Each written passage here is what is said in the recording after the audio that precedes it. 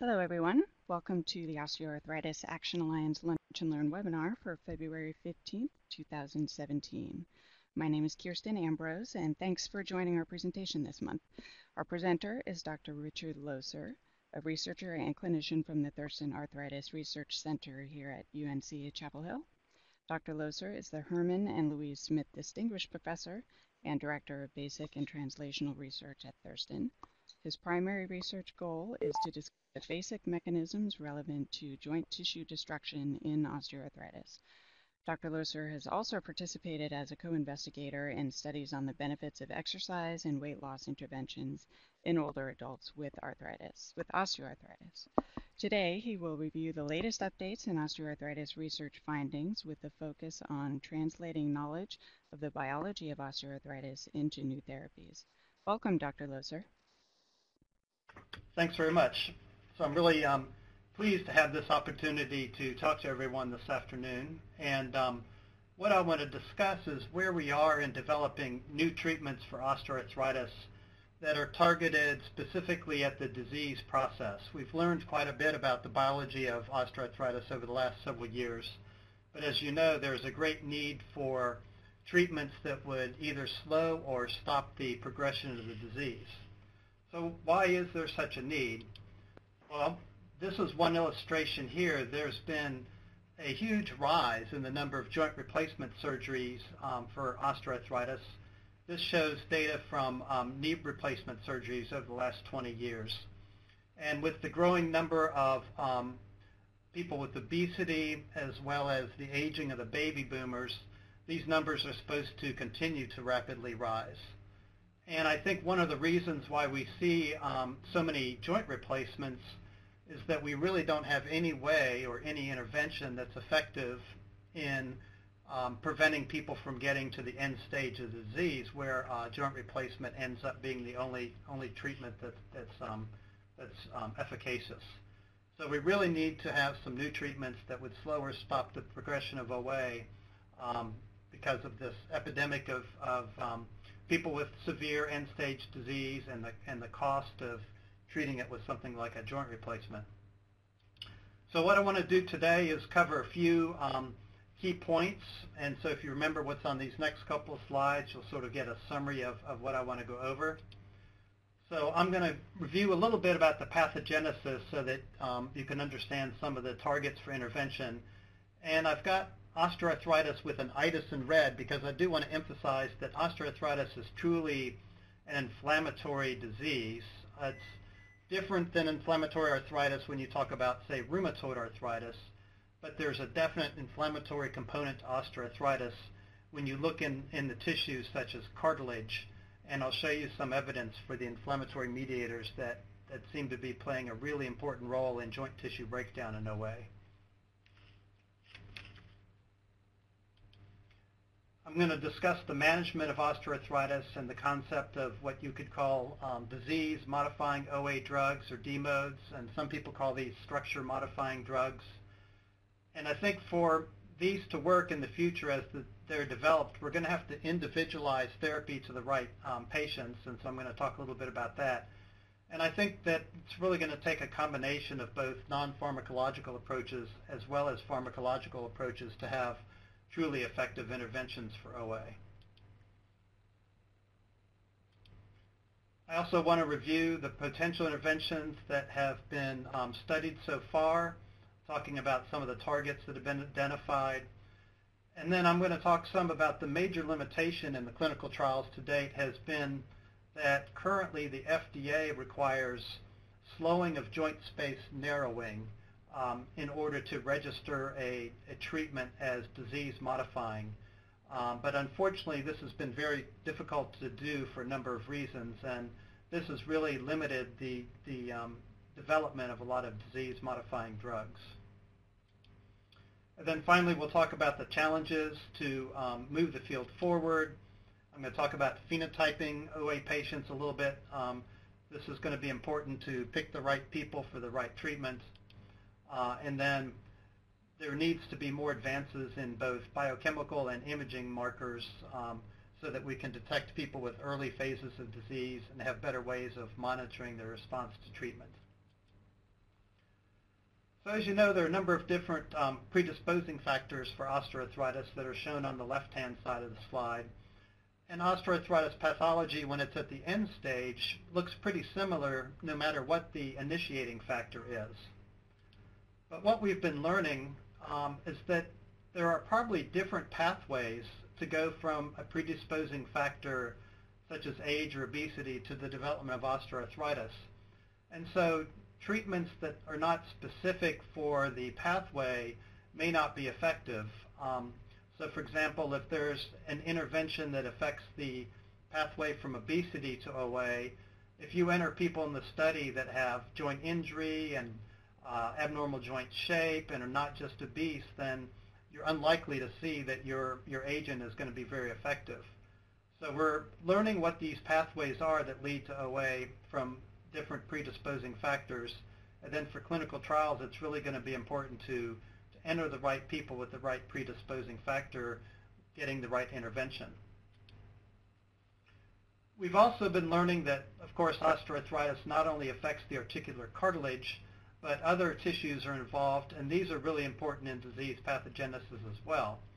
So for example, if you look here, move my arrow down, if you look here, this is an MRI image of a knee on the femoral side. You can see this white area. This is um, a bone marrow lesion, and these are lesions where there is an increased remodeling of the bone with sort of local necrosis and fibrosis. And these have been shown to correlate with both symptoms and with disease progression. So there are processes occurring in bone that we're starting to understand that are important. This MRI also shows some significant synovitis up in this area. So the role of synovitis is being appreciated much more. then within the knee joint, of course, the meniscus is involved, the ligaments, and so it's really um, now considered a disease of the joint as an organ. And the involvement of these other sites, um, besides the cartilage, is probably really important in the progression of the disease. So in a study looking at predictors of cartilage loss over 30 months, people that had a meniscal tear or meniscal extrusion where the meniscus is out of its normal place in the joint, or synovitis or high-grade MRI features, particularly those bone marrow lesions that I showed you, these were all people that were going to be at much higher risk of losing their cartilage over 30 months. So these tissues are interacting with each other. And as I mentioned, synovitis is becoming um, appreciated again as an important factor in osteoarthritis. This is one study that looked at end-stage disease, people that were on, um, going on to joint replacement, and they looked at their synovium um, after, after joint replacement surgery. And you could see that in some people that had really severe synovitis, that's shown here as a grade 3, and overall, the people that had end-stage disease, about one-third of them had grade 1, one-third of them had grade 2, and one-third of them had grade 3. So synovitis is probably not important in everybody, but there's certainly a subset of people with OA where it's becoming apparent to be a driving factor. We're also appreciating more and more the different inflammatory factors that are active in OA joints. Um, this is one particular study that used a proteomics approach and they found a number of different factors that were involved in um, the innate immune system and um, pro-inflammatory factors that signal through toll-like receptors. And this includes a number of cytokines and chemokines as well that interact with these factors signaling through toll-like receptors. And when they looked in the synovial fluid and measured some of the um, cytokines and chemokines that are shown in this table, what I think was interesting is that shown here in blue, two of the cytokines, interleukin-1 and tumor necrosis factor, that have probably received the most attention were actually present at very, very low levels within the synovial fluid. And you can see other factors like interleukin-6 at much, much higher levels, um, more than tenfold higher levels, some of these, VEGF, MCP1, IP1, and MIG. So there are probably a number of inflammatory factors that are involved in the OA process. And to be able to have effective therapies, we're going to have to determine which ones are going to be the most important to, to target. Clearly, targeting tumor necrosis factor has worked really well for rheumatoid arthritis, but to date, that inhibition of TNF doesn't seem to be as effective in, in osteoarthritis in preclinical studies. And what's fascinated me has been the development of um, this long list of factors that have been shown to be present and active in articular cartilage that are important in driving the breakdown of the tissue. So on the left-hand side, you can see there are a number of cytokines and other inflammatory factors, and these have all been shown to be present, and these stimulate degradation and inhibit synthesis.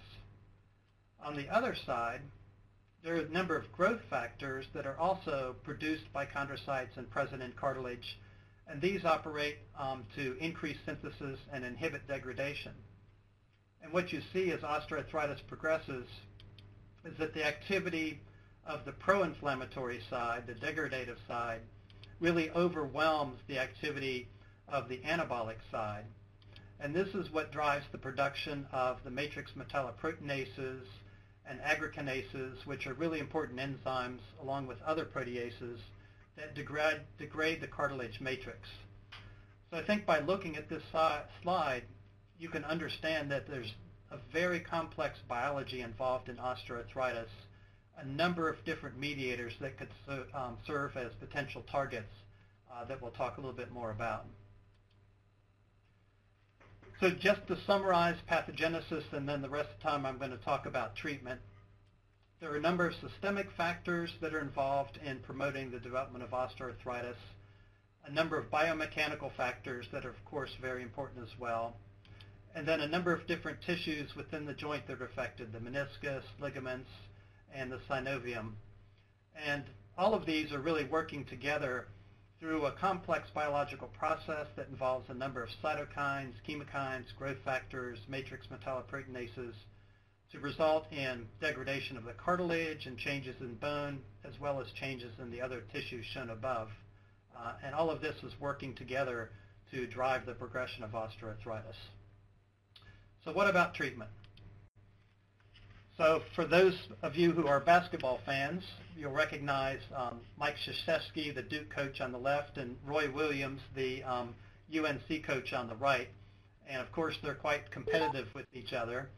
Um, and I'm using them here as illustrations, not just because um, Duke and UNC are going to be playing again next week, but because both of these two coaches have suffered from osteoarthritis and both underwent um, knee replacement surgery this past summer.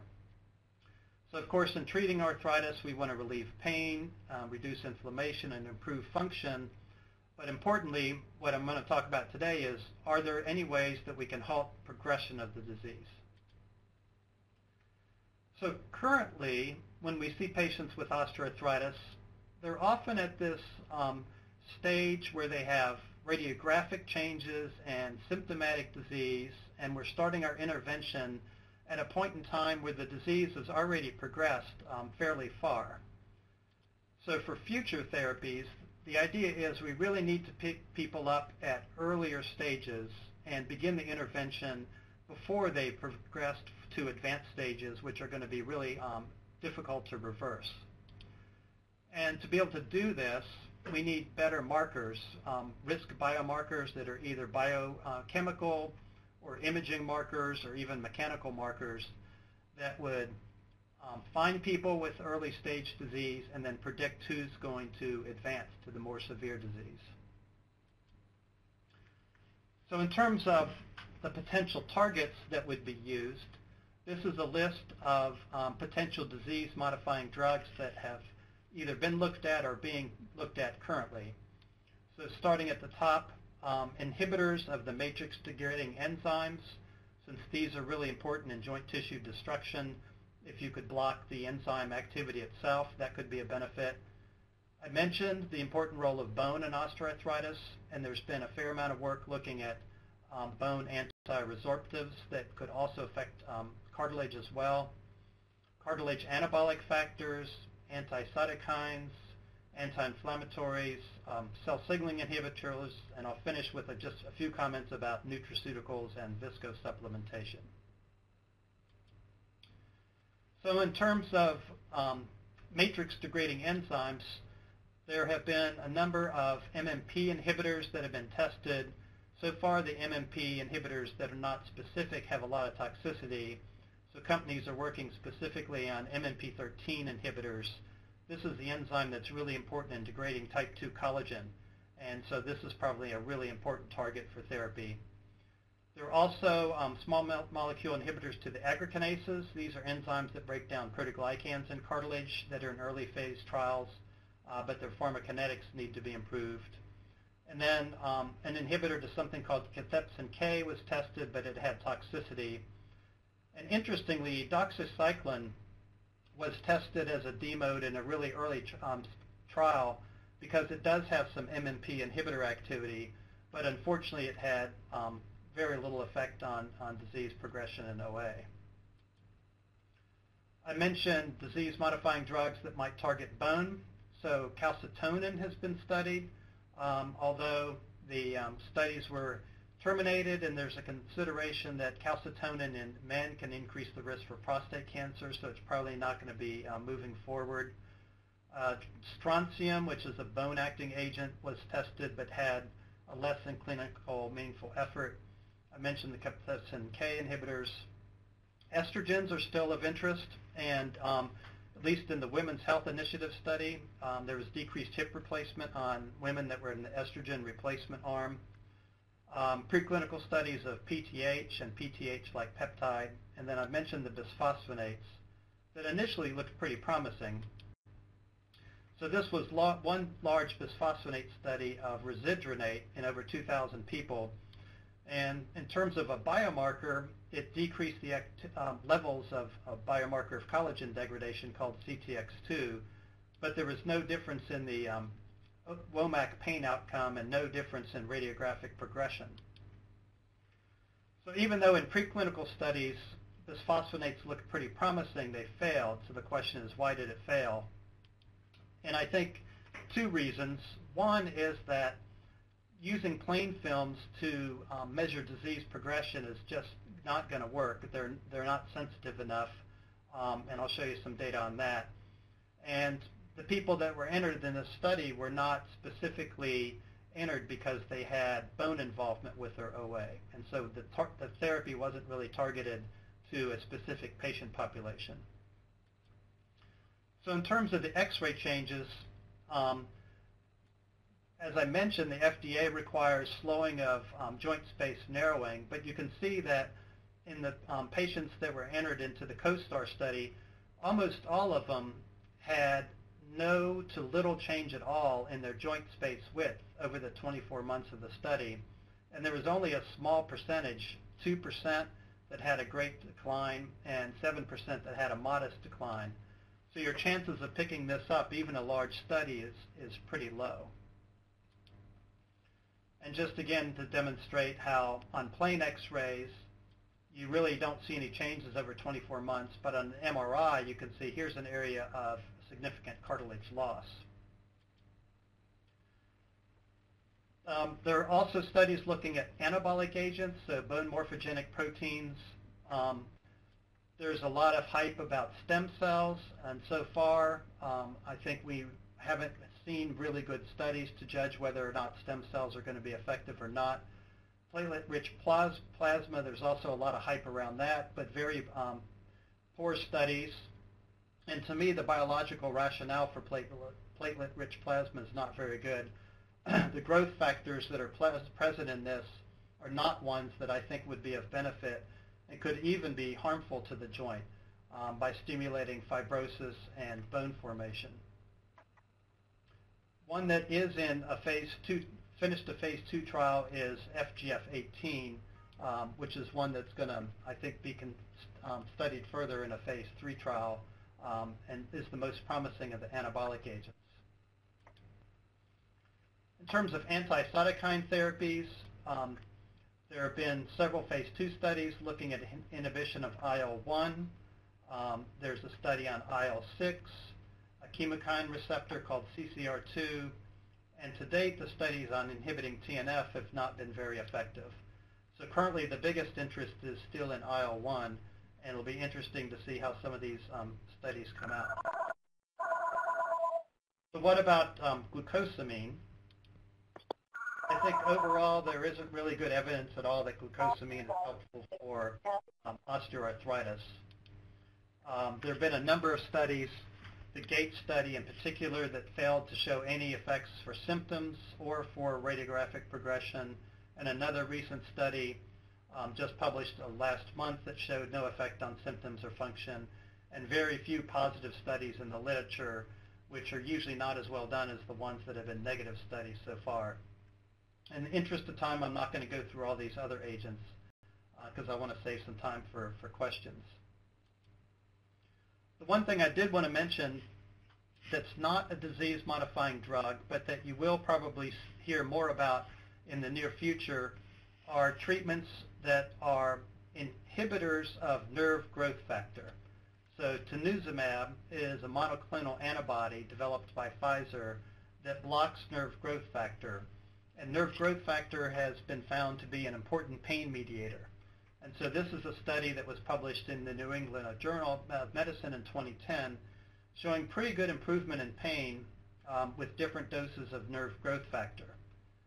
The problem that occurred was that um, in some of the early phase three studies, they noticed the subgroup of people that had worsening of their osteoarthritis who were on the anti-nerve growth factor um, and went to um, knee replacement sooner than was expected. And so they halted all the trials and they looked to see if there was anything that was associated with those that went on to have knee replacement. And it appeared that people that were taking nonsteroidals plus receiving anti-nerve growth factor were at higher risk. So um, they were allowed to restart these studies, but exclude the use of NSAIDs. And there are several of these that are coming to completion that we should hear about soon, and I'm sure they're going to go up for FDA approval pretty soon. So again, anti-nerve growth factor will be to target pain in people that aren't responsive to other standard therapies, but this is not a treatment that will target disease progression, and in fact, if we're not careful who we give it to, could even potentially cause more rapid disease progression. So in terms of moving forward, um, we're going to have to come up with targeted therapies that look at osteoarthritis phenotypes. So these could be risk factor phenotypes based on whether or not your osteoarthritis is developed after an injury versus being obese or age-related OA, or tissue phenotypes, as I mentioned, bone remodeling, uh, cartilage and other targets at the tissue level. And we need better um, imaging and biochemical markers for early detection and prediction of progression. I didn't have time to talk about these. A lot have been looked at, but there's still a lot of work that needs to be done. Um, and hopefully being able to monitor the efficacy with these markers. And then we need better preclinical models. A lot of these disease-modifying drugs that have been tested and failed looked really good in preclinical models, uh, such as in mice or in rats, but then failed when they got to humans. And I think one of the major issues is that they use really young animals in these studies, and when you try to translate that into a treatment for an adult human um, in an age of inappropriate animal model, then I think that, that could be a major issue. So I just need to acknowledge the funding that's supported a lot of our work, that's, um, that's helped me understand this disease quite a bit better. And now I'd be happy to, um, to take some questions. Thank you very much, Dr. Loeser. That's uh, quite a complicated subject area that you um, certainly helped to make a little bit more digestible for those of us who, who aren't quite so uh, knowledgeable of the deep science. So I appreciate that. Um, again, for everybody, we'll take some questions down there in the chat box if you have one. And um, uh, one thing I was going to say, perhaps your way forward slide is indicative of, of also the history of, of why some of these drugs have been so challenging to identify and, um, and show success in in OA. You know, certainly we have some really effective drugs in rheumatoid arthritis and some other forms of arthritis, but OA seems to have struggled. Um, perhaps it's related to some of these issues, you think, or just our lack of understanding of the disease process? I think it, it it's basically related to the fact that OA is really not a single condition, and the treatments that have been tested so far, everybody with OA has been lumped together. But if you just look at somebody who's had an ACL tear and developed post-traumatic OA, there are a lot different factors involved in that person than in someone who's, say, very obese and has developed OA associated with obesity. And so I think to be more successful, we need to understand the biology that's responsible for specific subsets of OA and have treatments that would target their particular um, biology rather than trying to lump everybody together. That certainly makes sense. You know, on the other end of it, um, we're we're mindful when we look at physical activity and strategies for managing OA symptoms in the absence of of um, effective treatments, some of which you've described. It's you know it's not one size fits all there either. You know, certain people do better with certain types of exercise than others, given uh, limitations and disabilities. So it certainly makes sense that that it would be true for any uh, any therapies. Right. So I see a question about targeting aggrecanases hasn't been effective as hoped. Um, I think that part of the issue around that has been the pharmacokinetics of the inhibitors for aggrecanases.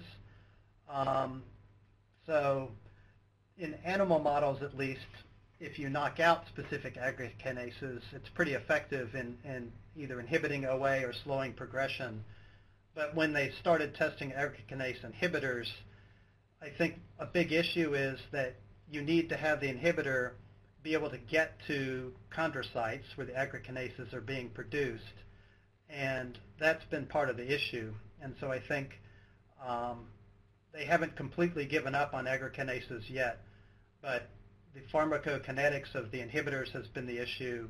And then the other other possibility is that at least in adult human OA, that maybe it's other matrix metalloproteinases that are as important or more important than aggrecanases, and so only inhibiting one enzyme maybe is not going to be effective, uh, and we're going to have to inhibit more than just aggrecanases. Uh, the next question is about obesity and um, a causative role in OA, biomechanical versus pathophysiologically. I think that's a, an important question, um, and it seems to be a combination of increased joint loading, but it's certainly not increased joint loading alone because there's lots of evidence that obesity and the associated metabolic disturbances and pro-inflammatory state plays a role. And um, it's interesting because obesity is associated, associated with hand OA, and it's much harder to give a uh, biomechanical rationale for obesity and hand OA than it would be for knee OA. So I think there's a growing body of evidence that, that obesity and its metabolic changes, and as I mentioned, there are a number of cytokines and adipokines made by fat that seem to affect joint tissues, that it's probably a combination of factors that, that are important. Question about stem cells for treatment of OA and my, my thoughts again about platelet-rich plasma.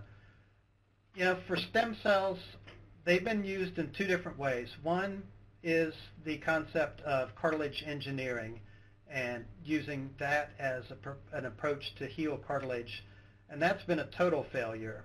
And I think in part it's because trying to engineer cartilage that stays in place and is biomechanically sound and can with, withstand um, the, the mechanics that are placed upon it has been a huge challenge. And if you think about OA involving the joint as an, as an organ, the bone is altered in the knee, the meniscus and ligaments are altered, the synovium is changed, and so if you merely try to engineer cartilage, you're not going to be able fix everything within the joint. And so that's another reason why I don't think stem cells for cartilage engineering are going to get very far for at least um, arthritis. If it's for an early sports injury, there's probably some potential hope if the rest of the joint is normal. The other thing stem cells have been used for is to um, take advantage of their anti-inflammatory properties. So stem cells do produce some um, anti-inflammatory mediators. And so injecting stem cells that will sit in the synovium and produce these mediators could be of some benefit. But to date, there's really no good evidence that, that they've been helpful. So I think a lot more work needs to be done. And as I mentioned, platelet-rich plasma, very few good studies have been done. And the type of growth factors that are present in platelet-rich plasma, platelet-derived growth factor, TGF-beta, FGF, all of these growth factors could be harmful for the joint because they stimulate fibrosis and they stimulate bone formation. TGF-beta is the major factor that stimulates osteophytes to form. So if you're injecting these into the joint, over the long term, I think we could be causing more harm than good. And the studies that have been done so far, it's, it's you know, you have to consider the placebo effect of injecting something into the joint where people respond simply to having an injection, whether it's saline or platelet-rich plasma. So we really need good randomized trials, and I think we really are going to need long-term studies to make sure that these agents are um, not harmful. Any other other questions? Somebody is Looks typing. like somebody's typing. Yep. These are great questions from our group today. Everybody's got some uh, I think everyone's curious. You know, like I said before, the OA treatments have just um, not been quite as prevalent or as effective as, as for some other illnesses. I think people are really looking for some good stuff. We do have one about anti-fibronectin fragment therapies. yeah, from Chris. I, I know Chris, and it's interesting that he would ask that because maybe he knows that I do work on fibronectin fragments as a, as a model. Um, so for those those of you who don't know about this particular area, as the matrix starts to break down in arthritis, matrix proteins, including fibronectin, are broken down and form fragments, and these fragments feed back and stimulate cells such as the chondrocytes to produce more of the mediators, the MMPs and inflammatory factors. So it's part of a, um, a vicious cycle. So we've been doing a lot of work with fibronectin fragments to try to look at the signaling pathways that they activate with the hope that um, specific signaling inhibitors would be um, efficacious in terms of blocking the signals that are turning on the production of matrix-degrading enzymes and cytokines and so forth. So that's where our particular focus has been. Um, it's hard to block the action of the fragments themselves um, because you'd have to be able to get some type of an inhibitor into the cartilage matrix and block the interaction with the receptors I think blocking the signals that are produced are going to be um, have the greatest chance of being effective. So that's that's an area that that we're still working on. So question about progressive resistance training compared to the current pharmacological interventions. Um, that's an excellent question. You know, I've been involved in a lot of exercise studies. Um, we're completing one right now on high intensity versus low intensity strength training that's led by Steve Messier uh, at Wake Forest called the START study. So I think that's going to be a study to tell us how effective um, high intensity strength training is. As you're probably aware, exercise and then for people that are overweight, exercise plus weight loss has been found to be effective. I haven't seen a head-to-head -head comparison with pharmacological interventions. Um, so most of the, the trials that we've been involved with, we enter people that are on analgesics and other agents for their osteoarthritis, um, but we haven't randomized people to receive pharmacologic intervention versus exercise intervention. But the improvements we see um, in terms of reduced pain and improved function either match or better than the improvements you see in pharmacological interventions, but um, they haven't been looked at head to head. It looks like this is Chris great. I see that another question. Yep.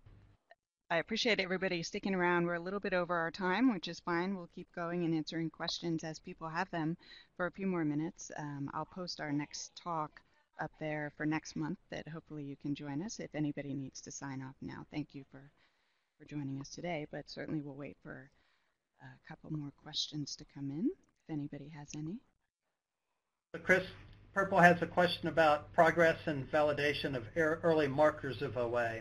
Um, there has been a, a large initiative um, through the osteoarthritis initiative um, and the biomarker studies that are looking at a panel of markers because it looks like there's not so far a single marker that can be um, predictive of early disease or predictive of progression. And so there's no conclusion yet in terms of a, a specific marker, but this panel that's being looked at, I think we're going to see more information coming out in the next year or two um, because there are a whole lot of studies that are underway right now. And in terms of imaging, um, there is agreement on all the different tissues that are involved in OA that you can image. There's not agreement on what the best indicator of early disease and progression would be. Um, clearly, synovitis is important, and in the knee, the meniscus is important. So those are two structures that seem to be uh, predictors of progression and associated with early disease. Um, and again, the imaging side of OA is being very actively investigated right now. So I'm thinking that really in the next year or two, we're going to have a lot more information on both biochemical markers and imaging markers as well. So stay tuned. Thank you so much, Dr. Loeser. It looks like uh, no more questions have come in. So greatly appreciate your time today and giving us the latest and greatest on OA and what we can look forward to. Well, thanks for the opportunity. Thanks for joining us, everyone. Have a good day, and we'll see you next month.